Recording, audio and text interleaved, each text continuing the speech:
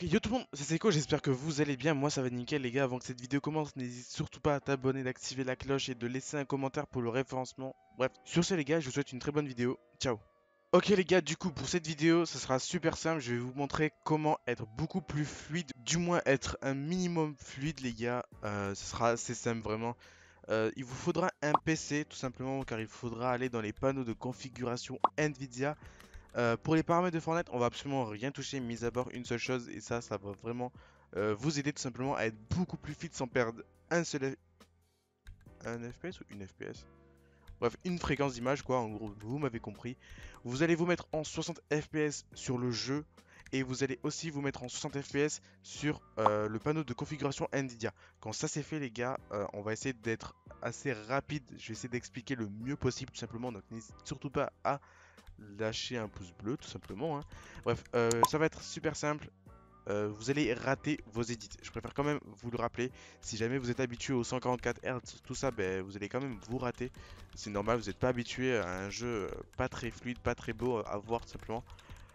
c'est normal. Bref, comme vous allez voir, ou plutôt comme vous pouvez le voir, je suis en train de faire du solo build tout en me en faisant des fades. Mais c'est normal les gars, c'est juste parce que vous n'êtes pas habitué à la fréquence d'image qui est très peu élevée. 100 euh, images par seconde. Putain, je, parle trop bien. Est-ce que tu peux tchatcher comme moi je tchatche? Je roucoule, je broie la langue de Molière, putain de merde Bref, tout simplement, les gars. Euh, vous allez rater vos vos solo builds, vos techniques, vos games si vous êtes en 60 fps alors que vous êtes habitué au 144. C'est tout à fait normal, je préfère quand même vous le rappeler. Euh, bref, le but de cette vidéo, c'est d'être comment plus fluide, pas d'être euh, moins fluide. Vous allez vous mettre en 60 fps. Quand ça c'est fait, les gars, vous allez faire du solo build, vous allez faire des games, bref, j'en sais rien. Euh, pendant 10 minutes, faites tout ce que vous voulez pendant 10 minutes en train de jouer au jeu, d'accord? Quand ça c'est fait, bah, après 10 minutes, vous allez vous remettre en 144 fps et enfin les fps que vous avez normalement. Si jamais euh, je vous conseille de faire ça hors stream, hors vidéo, bref, vous m'avez compris. Euh, mettez-vous en 30 fps. Mais le jeu sera vraiment pas terrible, il sera limite dégueulasse, vous pouvez même pas jouer, d'accord? Vous allez quand même faire quelques trucs si vous mettez 30 fps euh, dans les panneaux de configuration Nvidia aussi.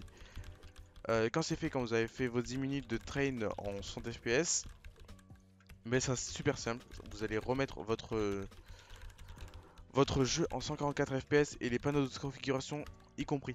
Vous allez voir que vous avez comme une sorte de nouveauté, comme si vous avez reçu pour la première fois votre 144 fps. Et puis vous allez voir que ça sera beaucoup plus fluide, plus beau à voir, plus simple à jouer, plus lent. Et du coup vous allez avoir le temps de faire vos techniques, des techniques que vous n'arrivez pas avant. Et euh, pour le coup je vous le conseille fortement, vous n'allez pas le faire tout le temps non plus. Une fois ça suffit, si jamais vous trouvez que vous êtes de moins en moins fluide, ben, vous recommencez la technique. Mais vraiment ça sert limite à rien, vous faites une fois et puis basta c'est fini. J'ai lâché un bastard. Bref, vous allez, comme vous pouvez le voir, je rate absolument toutes mes techniques. C'est normal. Après, je fais pas d'effort parce que je suis en train de parler, ça me déconcentre un peu. Mais voilà. Du coup, les gars, si jamais vous voulez être plus fluide, c'est super simple. Je vais vous mettre un avant-après. Ou plutôt le avant, c'est ce que je suis en train de faire actuellement en vidéo. Mais comme vous pouvez le voir, les gars, c'est super moche, c'est pas beau à voir. Bref, vous m'avez compris. Et du coup, on va passer tout de suite aux 144 FPS, les gars. Et je pense que vous allez pas être déçus parce que vous n'avez pas besoin d'utiliser le flou de mouvement ou une connerie pareille euh, dans les paramètres Fortnite qui vont faire en sorte de baisser vos FPS. Je vais même activer le flou de mouvement plus tard pour que vous puissiez voir la différence entre avant et après, sans et avec le flou de mouvement. Mais vous allez voir qu'il y a absolument, y a absolument aucune, aucune différence, d'accord? Euh, Du coup, let's go les gars, je finis mon solo build, tac, mon solo build est terminé.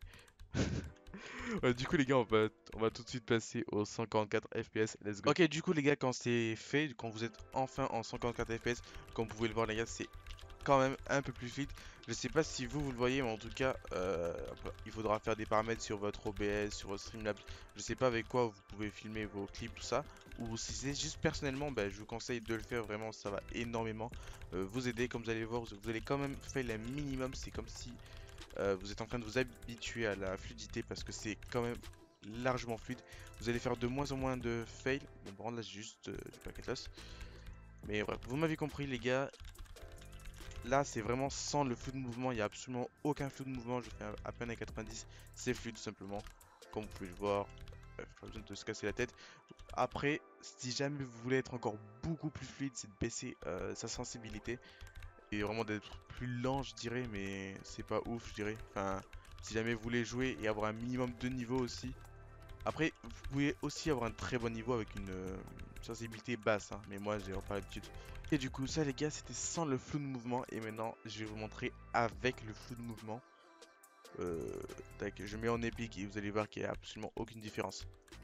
Ça va juste vous faire perdre des FPS. Sauf si vous avez un bon PC évidemment.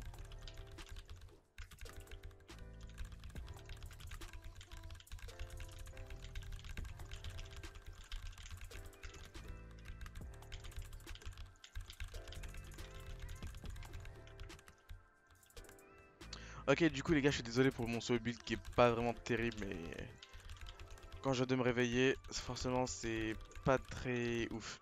Bref, du coup les gars, j'espère que cette vidéo vous a plu. Si jamais elle vous a plu, je vais quand même vous mettre encore quelques avant-après euh, en musique, musique en fond, je sais pas. On verra si je le fais ou pas. si, je le fais pas, bah tant pis. Sur ce les gars, c'était Seiko.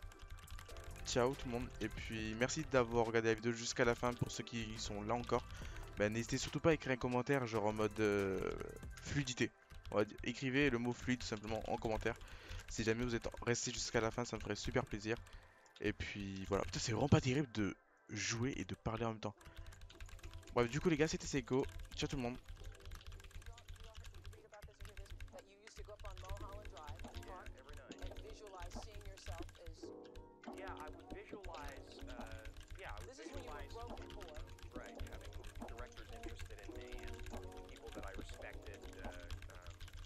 saying, you know, I like